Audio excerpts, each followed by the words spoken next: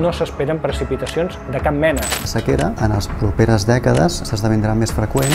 Que hagi plogut cada dia no vol dir que haguem sortit de la sequera. Si consideressin que les precipitacions no canvien, que és molt considerat, mm, jo crec que no cal ser un gran expert per a saber que el model actual de consum necessitarà aportacions extres.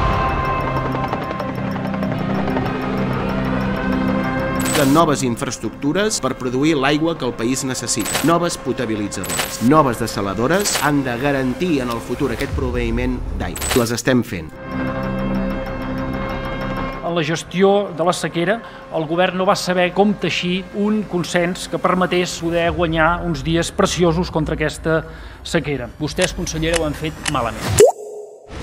Catalunya entra en la fase d'emergència per sequera que Les afecta 6 restriccions de reg milions per de la persones. sequera. Emergència per sequera. 6 milions de Estem en persones. situació d'emergència per la sequera i cada dia que passa sense ploure la situació 10% de està la més complicada. És una situació ben nefasta.